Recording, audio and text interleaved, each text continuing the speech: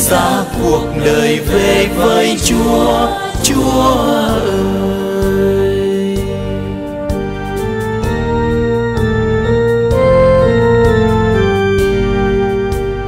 Trong khi con không ngờ, thì Chúa đã đến thúc con. Một lời từ xa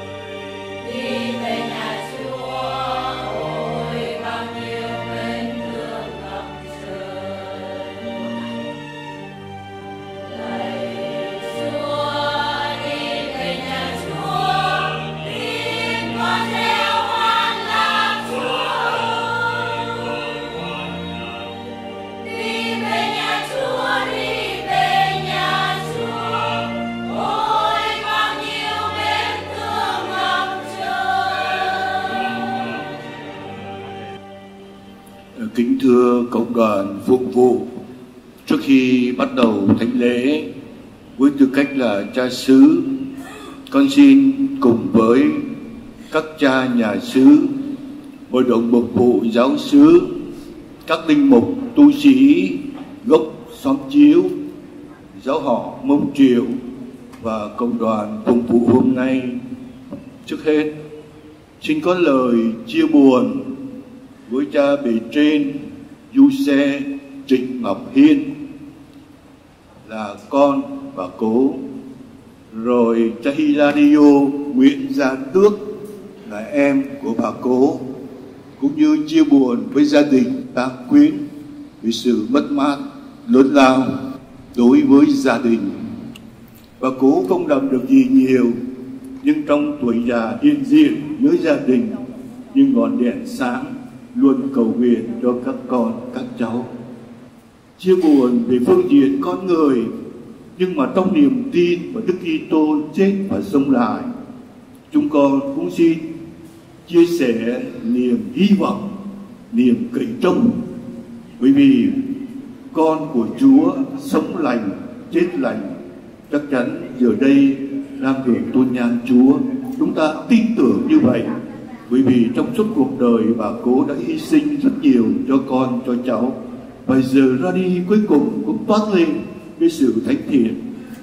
Chúa chúc lành cho bà cố rất nhiều cụ thể trong mấy ngày vừa qua, rất nhiều quý khách, đặc biệt quý cha dòng chúa cứu thế, quý thầy đã tới viếng và cầu nguyện rất xuất sắc tại tư gia, nơi bà cố đã sinh sống nhiều năm và cũng từ đấy ra đi về với Chúa. Chúng con cảm thấy trong lòng vui, bởi vì Chúa thương bà cố nhiều quá. Rồi hôm nay con có cảm tưởng như là tất cả thành viên của dòng Chúa Cứu Thế Sài Gòn tụ tập về giáo xứ xóm chiếu này.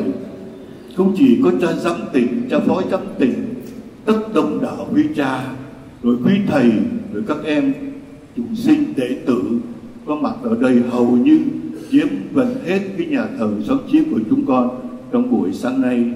Để chúng con nhớ lại cái lời thánh bình thay mặt cho bà cố, khi Chúa thương gọi con về, lòng con hân hoan. Vì thế mặc dù là lễ tang, nhưng mà chúng con vui mừng cùng với bà cố, cùng với gia đình. Và có, không thể không có một tràng bông tay để chào mừng quý khách quan trọng đến với giáo sư chúng ta nha. Vâng, xin cảm ơn cộng đoàn. Nhân danh cha và con và thánh thần. Chúa ở cùng anh chị em. Anh chị em thân mến, nay chúng ta quy tụ nơi đây cùng với giáo sứ như anh em dòng chúng thế và tất cả quý cha, thân nhân, thân hữu, đến để dâng thánh lễ an táng cầu nguyện cho bà cố Anna. Chúa đã gọi bà về sau hơn 90 năm ở trên trần gian. Bà đã sống một cuộc đời thuộc về Chúa, đặc biệt là bà đã dâng người con của mình cho Chúa, đó là cha Du Xe Trịnh Ngọc Hiên là bề trên của giáo sứ Thái Hà và nhà dòng cộng đoàn Hà Nội. Và cha đã trở thành người thuộc về Chúa, nhưng trong gia đình bà cố chính là người đã luôn luôn gắn bó với cha qua biết bao nhiêu thăng trầm của cuộc sống với 91 năm trên trần gian bà cố cũng đã cùng với cha Hiên đi qua biết bao nhiêu gian nan thử thách nhất là những lúc gặp khó khăn qua những năm tháng 63, 68, 75 và những năm sau giải phóng. Thì bà cố cũng đã cùng với cha Hiên đi những bước đường mặc dù không phải là người tu nhưng chắc chắn cũng phải hiệp thông với con cái trong những khó khăn đấy. Vậy thì ngày hôm nay bà cố được chú gọi về tất cả chúng ta biết rằng sự ra đi của một người bao giờ cũng để lại những nỗi mất mát, nhất là là mẹ, là bà, là cô bác cũng là một điều làm cho biết bao nhiêu người thương tiếc nhưng giờ đây chúng ta, trong bầu khí, lòng tin chúng ta hiệp thông, cầu nguyện cho bà và cùng với bà tạ ơn Chúa vì những gì Chúa đã trao ban cho bà trong những năm tháng vừa qua. Giờ đây trước khi cử thánh lễ chúng ta nài xin lòng nhân từ thương xót Chúa thứ tha tội lỗi cho chúng ta và đồng thời cũng xin Chúa thương xót bà cố để bà mau được hưởng nhan thánh Chúa. Chúng ta dâng lời cầu nguyện. Lạy Thiên Chúa là cha toàn năng, đức tin của chúng con tuyên xưng rằng con Chúa đã chết và đã sống lại. Nhờ mầu nhiệm này xin Chúa thương ban cho tôi tớ Chúa là bà cố Anna đã an nghỉ trong con Chúa. Nhờ người được hân hoan trỗi dậy, chúng con cầu xin nhờ Đức Giêsu Kitô con Chúa là Thiên Chúa và là Chúa chúng con, người hằng sống và hiển trị cùng Chúa trong sự hợp nhất của Chúa Thánh Thần đến muôn đời. Bài trích sách khôn ngoan. Người công chính Dù có chết sớm cũng được an nghỉ. Tuổi già đáng kính trọng không phải vì sống lâu Cũng không phải vì nhiều tuổi. Thật vậy Sự hiểu biết của con người thay cho đầu bạc Và đời sống trong sạch thế cho tuổi già. Người làm đẹp lòng Chúa được Chúa yêu mến Và vì sống giữa những kẻ tội lỗi nên được Chúa đưa đi. Người ấy được cất đi, kẻo sự gian tà làm hư hỏng trí khôn, hoặc sự dối trá, lừa phỉnh tâm hồn. Vì sự quyến rũ của thú vui phù phiếm, che khuất điều thiện và cơn lốc dục vọng làm điên đảo tâm hồn chính trực. Người tiến đến mức hoàn thiện trong thời gian ngắn, khác nào đạt tới đỉnh cao của sự nghiệp linh hồn người ấy đẹp lòng chúa nên Chúa vội đưa người ấy ra khỏi chốn gian tà. Dân chúng nhìn thấy mà không hiểu, cũng chẳng ai nghĩ ra rằng Chúa ban ân sủng và tình thương cho những người Chúa chọn và viếng thăm các thánh của Ngài. Đó là lời Chúa.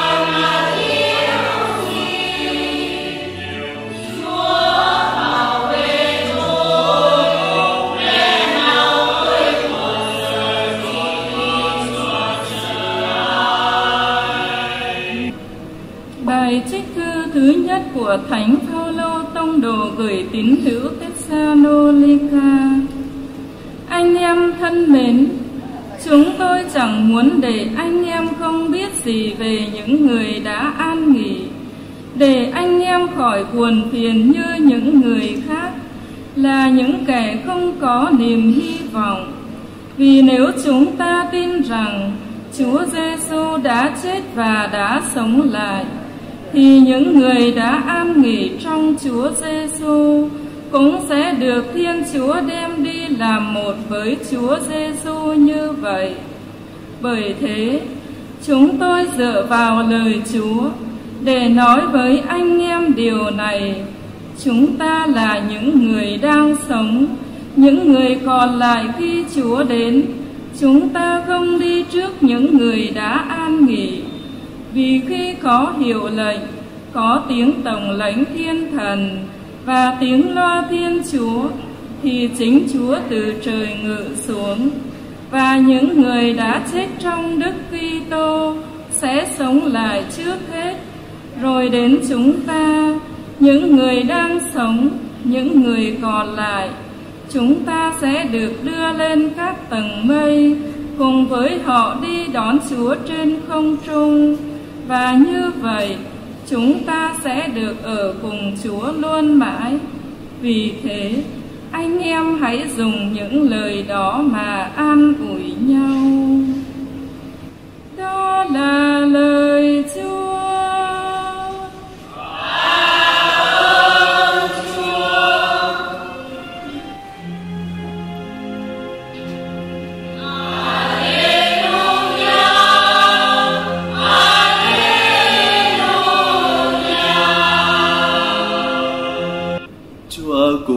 chị em. Tin mừng Chúa Giêsu Kitô theo Thần Gioan.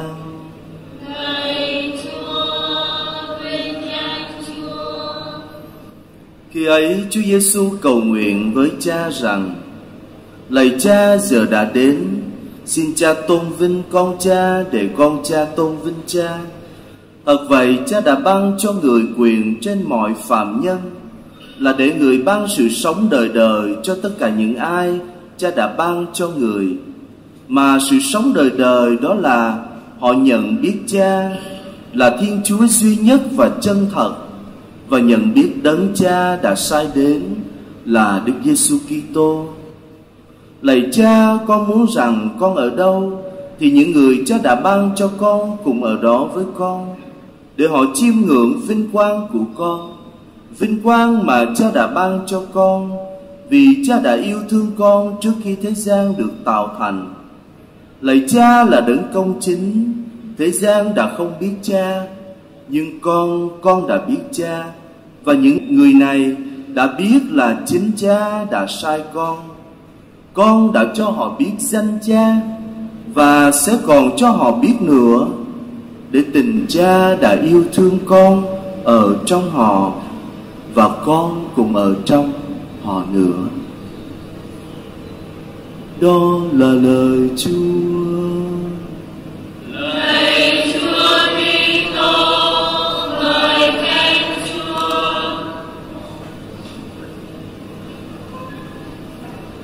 Kính thưa cộng đoàn phụng vụ. Đức Thánh Cha Benedicto thứ 16 trong một lần gặp gỡ các gia đình thì Ngài có nói một lời như thế này. Trước khi chúng ta được sinh ra làm người, Chúng ta đã là con của bố mẹ. Trước khi chúng ta ở với nhau, Thì chúng ta đã ở trong nhau. Nó có một cái màu nhiệm rất căn bản mà từ đó con người được thành hình. Đó là chúng ta được ở trong cung lòng của mẹ chúng ta. Và chính trong cung lòng của người mẹ đó, chính trong cái ở trong đó mà chúng ta được thành hình, được đón nhận sự sống có linh hồn, được chui dệt theo hình ảnh của ngài trong già mẫu thân của chúng ta. Được biết thế nào là nhịp đập của con tim, được đón nhận những dòng máu đầu tiên, được hít thở trong sự sống của mẹ mình. Cho nên, thưa anh chị em, khi mà Đức Bê Tô thứ 16 Ngài nói rằng cái màu nhiệm làm nên con người là cái màu nhiệm tình yêu mà nơi đó chúng ta ở trong nhau. Chính trong cái sự mà chúng ta được cưu mang đó mà chúng ta được thành hình, chúng ta được làm người. Và chính trong cái sự ở trong nhau đó, nó diễn tả một cách rõ nét cái màu nhiệm mà con người là hình ảnh của Thiên Chúa. Bởi vì khi suy tư về Thiên Chúa ba ngôi dựa trên mặt khải mà hội thánh cho chúng ta thấy, nơi kinh thánh đó hay nói đúng hơn, là nơi chính lời của Chúa Giêsu Kitô đó, thì ngài đưa chúng ta đi vào cái sâu nhất của Thiên Chúa là cung lòng của Chúa Cha Điều mà Thánh Gioan nói rằng, đấng từ cung lòng của Thiên Chúa mà đến và đấng đó mặc khải cho chúng ta biết về Thiên Chúa là Cha. Cho nên Chúa Giêsu Kitô đấng mà chúng ta tin vào, đấng mà chúng ta đi theo, đấng mà chúng ta tuyên xưng Ngài là con Thiên Chúa đó thì nơi Ngài có một cái màu nhiệm rất căn bản đó là Ngài ở trong Cha, người con ở từ trong cung lòng của Cha.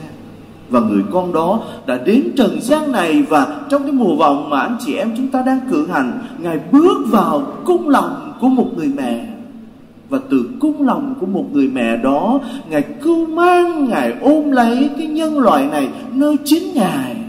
Để rồi nơi chính ngài với toàn thể cái nhân loại này mà ngài có nơi nhân tính của ngài đó thiên chúa là cha cưu mang con của mình. Đồng thời cũng cưu mang tất cả chúng ta. Và như lời Chúa Giêsu Kitô nói trong bài tin mừng ngày hôm nay, con muốn rằng con ở đâu thì những người mà Cha ban cho con cùng ở đó với con.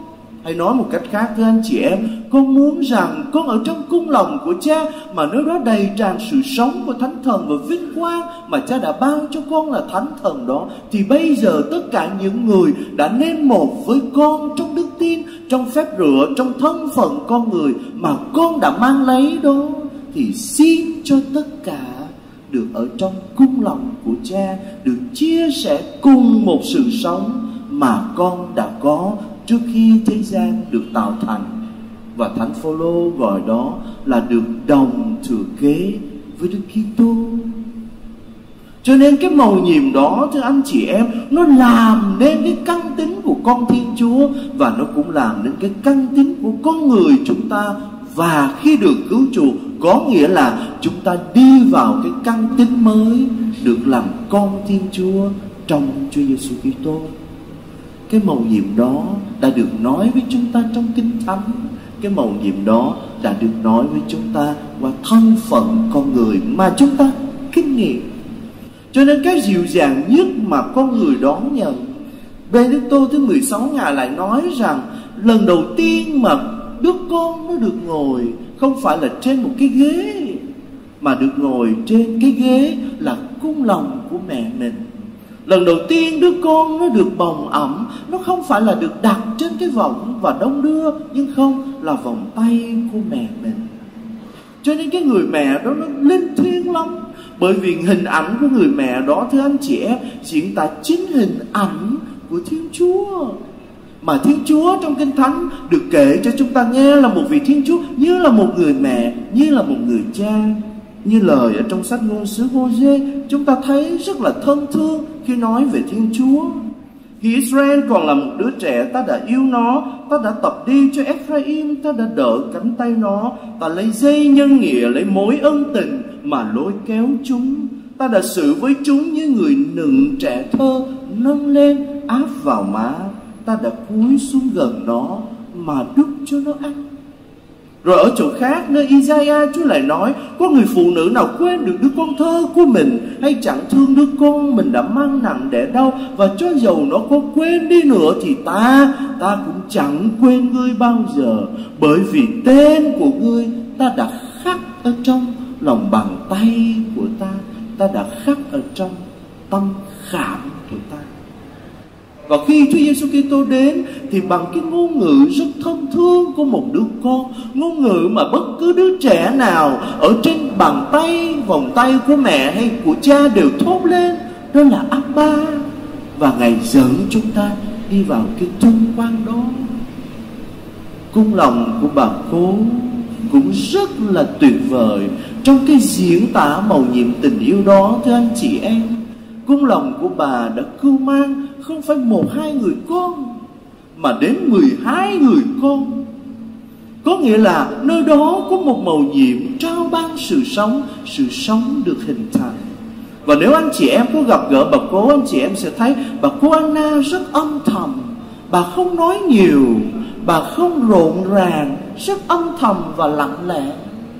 Nó đi vào cái âm thầm của một hình ảnh ở trong dân gian mà chúng ta vẫn nói con là cây mẹ là đất nhé.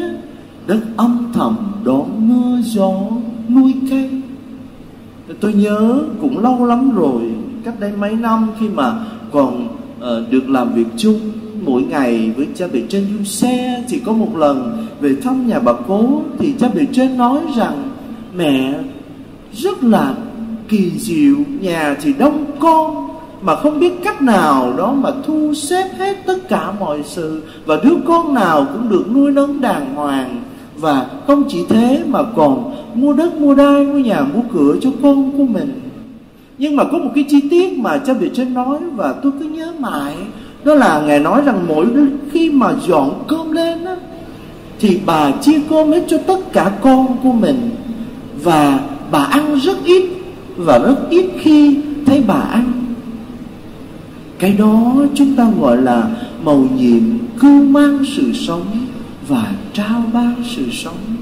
Cái đó chúng ta gọi là tình mẹ, cái đó chúng ta gọi là hy sinh, cái đó chúng ta gọi là thánh thiên cái đó chúng ta gọi là tính thiên chúa bởi vì nơi đó, thưa anh chị em, sự sống được trao ban. Chính từ nơi sự sống được trao ban đó mà thế giới được hình thành, thế giới được cưu mang lấy và thế giới được sinh vào trong sự sống mới. Cho nên Chúa Giêsu trong cuối bài tin mừng ngày hôm nay, Ngài lại nói rằng con đã tỏ cho họ biết và con sẽ còn tỏ cho họ biết nữa danh của cha. Và danh Thiên Chúa là gì? Thưa là hằng sống Thưa là luôn luôn có mặt, Luôn luôn hiện diện Là trao ban Và trao ban sự sống cho đến cùng. Và tôi tin rằng cũng như tất cả anh chị em, chúng ta đều tin rằng giây phút này đây là giây phút mà bà cô bước vào cái mà Chúa Giêsu Kitô gọi là con sẽ tỏ cho họ còn hơn nữa về danh của Cha, để tình Cha yêu thương con ở trong họ và con cũng ở trong họ nữa. Chúng ta tin rằng bà cố đã được chia sẻ cái biết danh thiên chúa đó và bà cố đang được ở trong vinh quang của thiên chúa, ở trong tình yêu của thiên chúa là cha, con và thánh thần. Trong cái xác tín và tâm tình đó, chúng ta cùng tạ ơn với bà cố và xin cho thánh lễ này trở thành một thánh lễ tuôn tràn ánh sáng vinh quang và sự sống tình thương của Thiên Chúa là Cha. Amen. Anh chị em thân mến, giờ đây chúng ta hãy chung lời khẩn nguyện Chúa là Thiên Chúa chúng ta không chỉ cho người chị em chúng ta vừa qua đời nhưng cũng cầu cho hội thánh cho hòa bình thế giới và cho chính chúng ta được hưởng ơn cứu độ chúng ta khẩn cầu chúa là thiên chúa chúng ta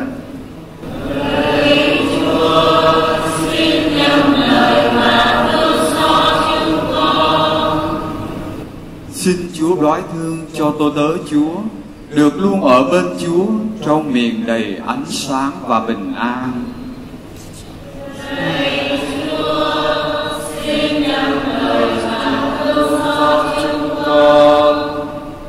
Xin Chúa đoái thương, Ban cho tôi tớ, Chúa, được hạnh phúc Và hợp đoàn với các thánh Cùng những người Chúa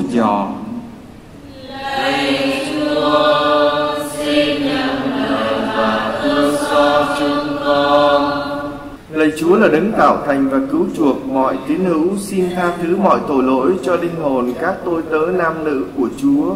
Để nhờ lời cầu nguyện sốt sắng của chúng con, các tôi tớ Chúa được ơn tha thứ hằng mong ước. Chúng con cầu xin nhờ Đức Kitô Chúa chúng con.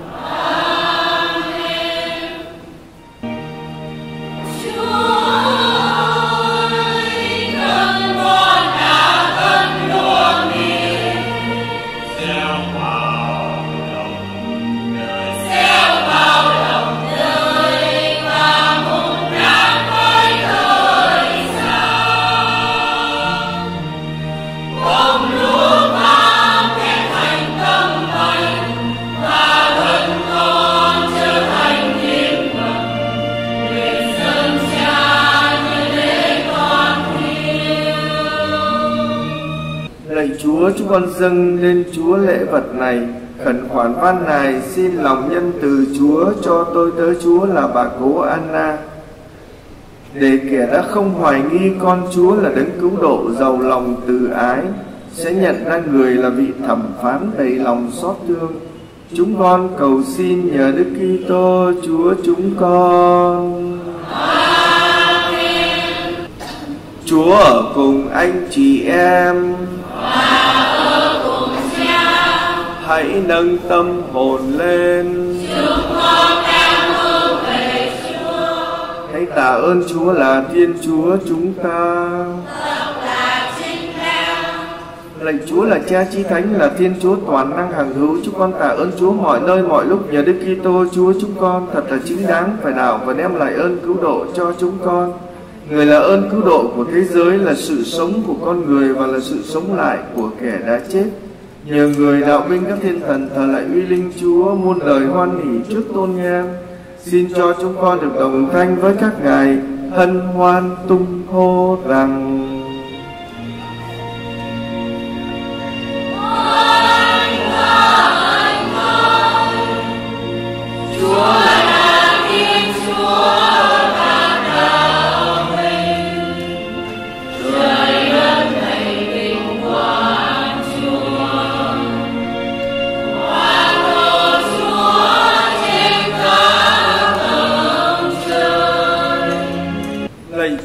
Chúa, thật là đấng thánh là nguồn mọi sự thánh thiện. Vì thế chúng con lại xin Chúa dùng ơn thánh thần Chúa thanh hoa những thua lễ này để trở nên cho chúng con mình và máu Đức Giêsu Kitô Chúa chúng con khi tự nguyện nộp mình chịu khổ hình người cầm lấy bánh ta ơn bè ra và trao cho các môn đệ mà nói. Tất cả các con hãy nhận lấy mà ăn. Vì này là mình thầy sẽ bị nộp vì các con.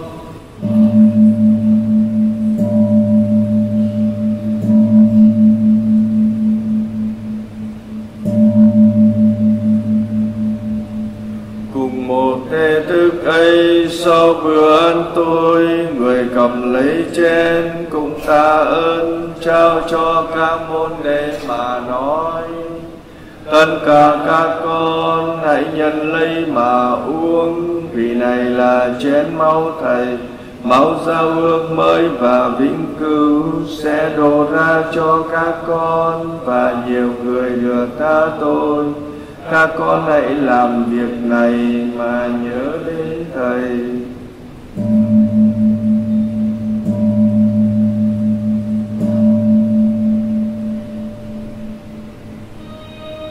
Lạy chúa, xin nhớ đến hội thánh chúa lan rộng khắp hoàn cầu, để kiến toàn hội thánh trong đức minh, cùng với đức giáo hoàng Francisco, đức tổng giám mục Phaolô hai đức cha phụ ta Giuse và Louis, đức Hồng Y John Bautista và toàn thể hàng giáo sĩ. Xin Chúa nhớ đến tôi tớ Chúa là bà cố Anna mà hôm nay Chúa đã gọi ra khỏi đời này về với Chúa. Xin ban cho kẻ đã chết như con Chúa thì cũng được sống lại như người. Xin Chúa cùng nhớ đến anh chị em chúng con đang an nghỉ trong niềm hy vọng sống lại và mọi người đặc biệt các bậc tổ tiên, ông bà, cha mẹ và thân bằng quyên thuộc chúng con đã ly trần trong tình thương của Chúa. Xin cho hết thảy đều vào hương ánh sáng tôn nhan Chúa. Chính nhờ người với người và trong người mà mọi danh dự và vinh quang đều quy về Chúa là Cha toàn năng trong sự nhân của Chúa Thánh Thần đến muôn đời.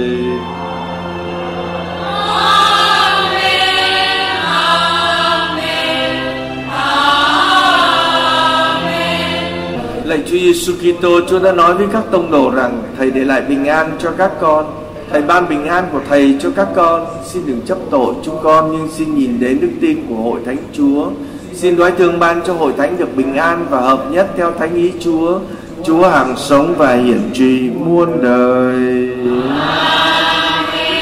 Bình an của Chúa hàng ở cùng tất cả anh chị em. Anh chị em hãy chúc bình an cho nhau.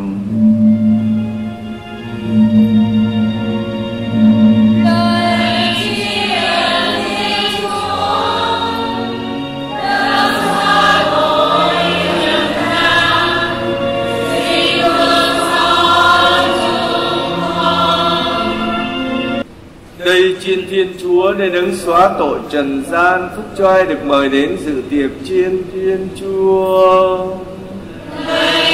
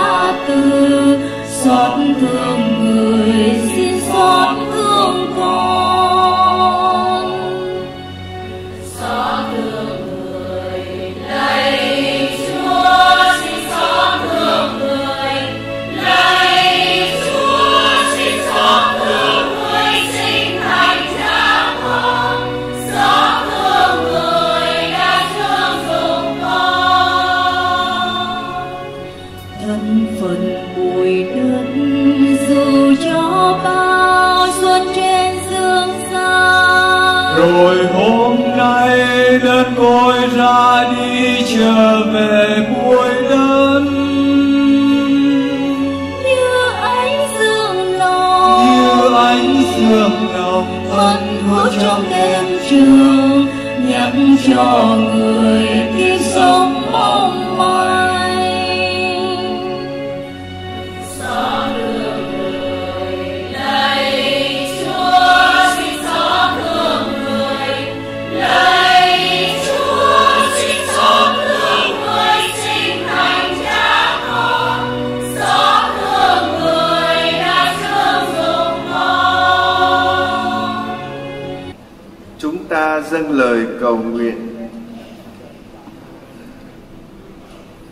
Lạy Thiên Chúa toàn năng, chúng con nài xin Chúa cho tôi tớ Chúa là bà Cố Anna hôm nay đã lìa cõi thế. Khi đã được thanh tẩy nhờ hy lễ này và được giải thoát khỏi tội lỗi sẽ được hưởng niềm hoan lạc phục sinh muôn đời. Chúng con cầu xin nhờ Đức Kitô Chúa chúng con. Từ đây cha du xe Trịnh Ngọc Hiền trên nhà Hà Nội sẽ có đôi lời cảm tạ. Kính thưa cha giám tỉnh dòng chúa quốc thế Việt Nam, kính thưa quý cha quản hạt, quý vị trên, quý cha, quý tu sĩ nam nữ và toàn thể anh chị em. Cho giờ phút linh thiêng bên linh cứu người mẹ, người bà của chúng con, chúng con dâng lên Thiên Chúa lời tạ ơn vì Thiên Chúa đã yêu thương người mẹ, người bà của chúng con. Ngài đã ban cho người mẹ, người bà của chúng con với 91 năm làm con Chúa trên trần gian được làm con Chúa qua bí tích thánh tẩy, được sống trong ơn gọi, hôn nhân gia đình. Mặc dù trải qua bao thăng trầm của thời cuộc, bao vất vả trong việc nuôi dạy mười người con, nhưng nhờ ơn Chúa, người mẹ của chúng con đã hoàn tất bổn phận trong sự yêu mến, tin tưởng và đã hoàn thành tốt đẹp bổn phận Chúa trao phó.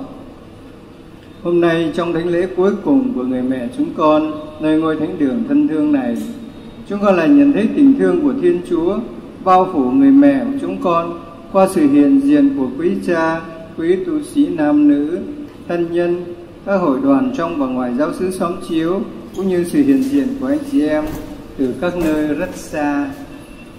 Con xin được thay lời cho gia đình cảm ơn cha giám tỉnh đã yêu thương mẹ chúng con và gia đình chúng con. Cha đã hiện diện cầu nguyện cho mẹ chúng con tại gia đình khi mẹ chúng con được Chúa gọi về. Và hôm nay cha đã chủ tế thánh lễ an táng để cầu nguyện cho mẹ chúng con. Con xin cảm ơn cha quản hạt, cũng là cha chính sứ giáo sứ xóm chiếu. Trong suốt những năm tháng dài vừa qua, trong tư cách là mục tử, cha đã chăm sóc người mẹ của chúng con qua việc ban các bí tích, thăm hỏi và động viên mẹ chúng con nhất là những giờ, phút cuối cùng của người mẹ chúng con, cha đã đến chúc lành để mẹ chúng con ra đi được bình an. Và hôm nay cha cũng sắp xếp tổ chức thánh lễ an táng cho mẹ chúng con cách chu đáo. Chúng con xin cảm ơn cha. Con xin hết lòng cảm ơn quý cha. Quý thầy thuộc tỉnh dòng chúa cứu thế Việt Nam. Quý cha, quý thầy thuộc các cộng đoàn các riêng cộng đoàn dòng chúa cứu thế Hà Nội. Và anh chị em giáo dân đại diện giáo sứ Thái Hà. Quý cha quý thầy, anh chị em đã thăm viếng cầu nguyện cho mẹ chúng con và phân ưu với gia đình chúng con. Xin tiếp tục cầu nguyện cho mẹ của chúng con và gia đình chúng con. Con xin cảm ơn quý cha trong và ngoài giáo phận, quý vị trên nam nữ tu sĩ đã hiệp thông cúng viếng và tham dự thánh lễ an táng để cầu nguyện cho mẹ của chúng con hôm nay. Mặc dù không hiện diện trong thánh lễ hôm nay, con cũng xin được thay lời cho gia đình hết lòng cảm ơn Đức Hồng Ivero Nguyễn Văn Nhơn, Tổng giám mục Tổng giáo phận Hà Nội, Đức cha Phụ tá Lorenzo Chu Văn Minh, giám mục Phụ tá Tổng giáo phận Hà Nội, Đức cha Giuse Đặng Đức Ngân, giám mục giáo phận Đà Nẵng. Quý Đức cha đã cầu nguyện cho mẹ của chúng con và đã gọi điện phân lưu với bản thân con và gia đình chúng con khi Chúa gọi mẹ chúng con về. Thay lời gia đình, tôi cũng xin hết lòng cảm ơn quý ông bà trong hội đồng mục vụ giáo sứ sống chiếu, các hội đoàn, ca đoàn và bà con trong giáo xứ đã cầu nguyện cúng viếng phân ưu và đã cùng với cha chính sứ tổ chức thánh lễ an táng cho mẹ của chúng con hôm nay. Tôi cũng xin cảm ơn quý thông gia, thân nhân, bà con huyết tộc nội ngoại đã cầu nguyện, cúng viếng và gửi điện chia buồn khi mẹ chúng tôi được Chúa gọi về. tôi cũng xin cảm ơn các cấp chính quyền, ông Chủ tịch Ủy ban Nhân dân thành phố Hà Nội, ông Giám đốc Công an Hà Nội và các ban ngành đã cũng nghi viếng phân ưu khi biết tin mẹ chúng tôi qua đời. Một lần nữa, chúng con xin được thay lời cho gia đình cảm ơn Đức Hồng Y, quý đức cha, cha giám tỉnh, quý cha, quý nam nữ tu sĩ và toàn thể anh chị em. Trong lúc tăng gia bối rối có điều chi thiếu sót, xin quý cha và anh chị em lượng thứ. Toàn thể gia đình chúng con xin cúi đầu vái tạ.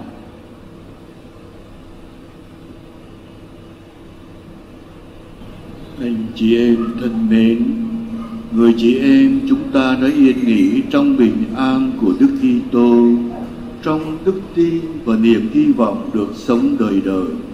Chúng ta hãy phó dâng bà cố Anna cho lòng thương xót đầy lân ái của Chúa là Cha chúng ta và hãy liên kết với người như bà cố Anna chúng ta đây bằng lời cầu nguyện để bà cố nhờ bí tích rửa tội đã trở nên nghĩa tử của Chúa. Đã nhiều lần được bổ dưỡng nơi bàn tiệc thánh, giờ đây cũng được nhận vào dự tiệc dành cho con cái Chúa trên trời. Chúng ta cũng cầu nguyện cho chính chúng ta. Giờ đây đang than van khóc lóc. Một ngày kia, có thể được cùng bà cố Anna ra đón gặp Chúa Kitô khi chính người là sự sống của chúng ta xuất hiện trong vinh quang.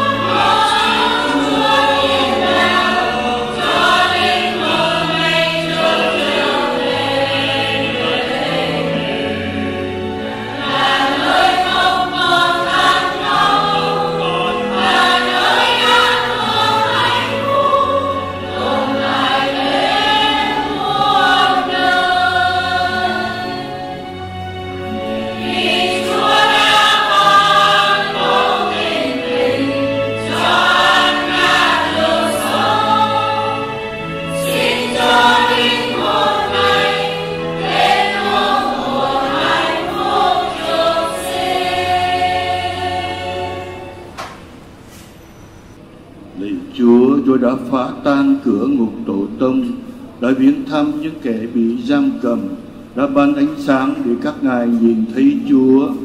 Xin cứu con thoát khỏi đường dẫn tới hỏa ngục. Các ngài đã lớn tiếng reo vang lạy đấng cứu chuộc chúng con, Chúa Đà Đê. Lạy Chúa xin cho linh hồn bà cô Anna được ý yên muôn đời và cho ánh sáng ngàn thu chiếu soi trên bà cô Anna.